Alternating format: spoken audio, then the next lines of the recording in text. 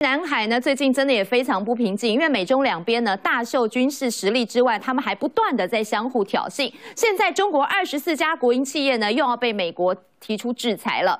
我们看到了，在两边的军事上面都有一些不同的动作。因为美方召集环太平洋军演，硬是把中国排除在外，所以中国共军呢，从二十四号开始就在四大海域进进行一个军事演习。那么就在演习第三天，八月二十六号，没想到美国的 U2 高空侦察机都闯到了北部的战区进行实弹演习的禁航区这里来拍摄画面。美国当然是想看一下中国的实力有没有可能发现他们的 U。高空侦察机，而就在同一天呢，中国的解放军也回击了。当然，后来事情发生之后，觉得是还蛮丢脸的。所以呢，就在同一天，那么中国也进行了这样的情况，在青海跟浙江同时的发射飞弹。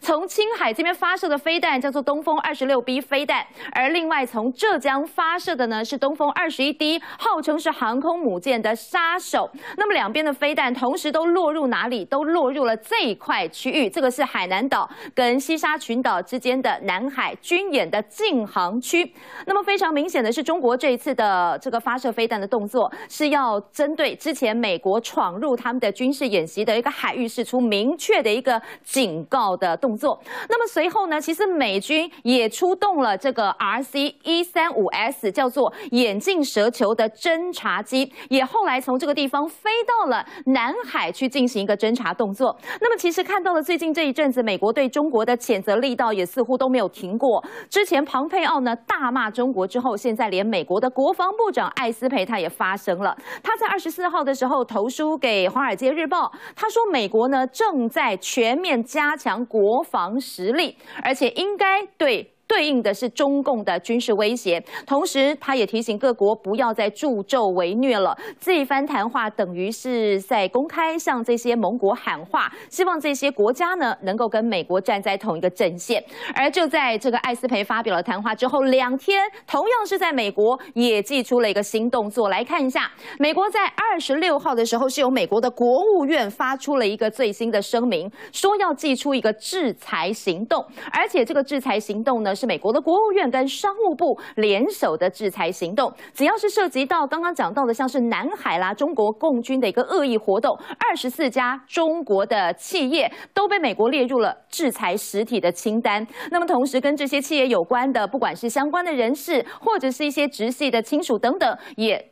这个现在都要寄出一些签证限制了，这些人都是不能入境美国的。那么同时，国务院的声明当中把矛头指向了这家公司，叫做中国交通建设公司。这份声明非常明显的指出，从二零一三年开始，由中国交通建设公司为首的一些中国企业，他代理这些企业，以这个公司为首的这些这个企业团体呢，在南海填海，而且造地超过了三千英亩，也成为北京“一带一路”的头号承包者。不仅是这家带头企业哦，而其他的子公司呢，也是不断的在侵略全球，在各个国家有贪腐、有金融的掠夺，而且还进行了环境的破坏等等。那么美国呢，谴责中国企业不断在南海新建这些人道早礁，是一个非常大的挑衅。因此，他们这次呢实施制裁行动，就是要这些企业为他们所作所为负起真正的一个责任。那么另外一方面来看看美国跟中国之间的问题，难道真的被川普当成了竞选筹码了吗？川普之前。还说呢，这个不想跟中国谈话的，现在闪电跟中国完成了第一阶段的贸易协议，而且是美中通话，双方看到了一些进展，难道是为了共和党大会拿出来当政绩？I postponed them. I postponed talks with China. You know why? I don't want to deal with them now. 放高姿态，爱谈不谈。美中贸易判谈判看似被川普玩弄在手掌心，其实现在有了新进展。Vice Premier Liu He held a phone call with U.S. Trade Representative Robert Lighthizer and U.S. Treasury Secretary Stephen Mnuchin。美中代表二十四号举行电话会议，讨论第一阶段贸易协议。美方指出，双方看到了进展。中国向美国签订了玉米、大豆采购合约，玉米的总量还创下近月以来新高。其实这一次。的会议延迟了十天，传出是中国北戴河会议还在举行，也有一说是要让中国有时间采购美国农产品。川普更是放话不想谈，但背后恐怕有其他目的。And he has ended the ridiculously unfair trade arrangement with China that punched a hole in our economy. Those jobs, those jobs are coming back home. 谈判时机刚刚好，让川普可以在共和党全代会上大肆吹嘘，只有川普能让北京就范。不过，美方没有提及华为、TikTok 等议题，也成为投资人的隐忧。我国经济持续快速发展的一个重要动力就是对外开放，对外开放是基本国策。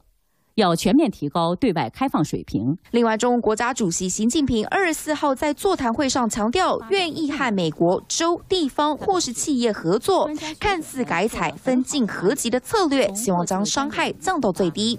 而美中关系如何变化，也势必牵动美国大选。三立新闻赖一红报道。好，另外来看一下中共呢新新出来的这个警旗，警政单位新的警旗呢，红色跟蓝色的配色，让很多的这个中国的网友小粉红都整个面临崩溃的情况了。来看一下我们的中华民国国旗是青天白日满地红的这个国旗，白色、蓝色跟红色。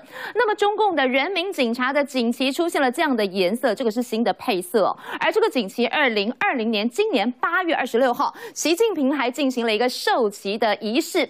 那么这这个新的锦旗让中国的网友整个大崩溃，大批网友在网络上讨论，而且不断的哀嚎，说这个蓝色、红色图案的灵感难道是来自青天白日满地红吗？另外还有人说，全部都红色不好吗？弄一个蓝色的是怎么样？难道是要向对岸？看齐吗？他们指的对岸，当然指的就是我们的台湾啦。这个是中国最近出现的一个新的这个锦旗，引发了不少的讨论声了。